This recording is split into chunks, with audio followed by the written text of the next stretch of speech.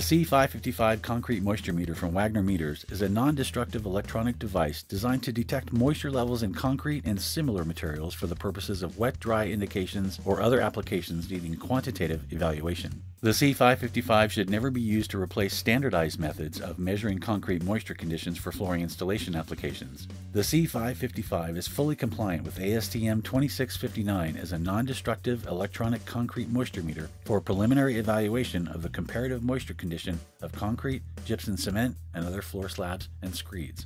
The on-hold button powers the unit on and also holds a reading in case you're measuring in an area where you can't directly see the display. The audio button allows you to set a high moisture content alarm threshold and also set the volume for the alarm sound. This is useful, for example, when you're trying to locate higher moisture content areas without having to continually look at the digital display. In the standard measurement mode, the C555 measures moisture within a 0 to 6.9% moisture reading range. The C555 also features a relative measurement mode, which will give you a comparative indication of moisture in other materials than concrete, with a numerical scale from 1 to 100. All surfaces to be measured should be smooth so the entire sensor plate makes contact for the most accurate readings. Press the mode button four times and the C555 will alternate between showing ambient temperature and relative humidity every 3.5 seconds.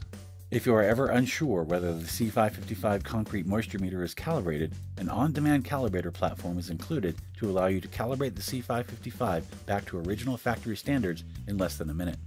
Before calibration, be sure the serial numbers of your on-demand calibrator matches the serial number of your meter located in the battery compartment. Place the calibrator on its legs on a non-metallic surface. Turn the meter on and press the mode button to put your meter in calibration mode. Place the meter sensor pad directly within the recessed area of the calibrator platform. Move the meter back and forth and side to side to ensure that the sensor pad is firmly within the recessed area. Apply light pressure and push the audio button three times. The meter will beep three times to confirm the calibration process. When the process is complete, the meter will display the word lift. Immediately lift the meter into the air for 5 seconds until the word done appears. Keep your fingers and other objects clear of the backside of the meter. Press the on hold button to return the meter to normal measuring mode.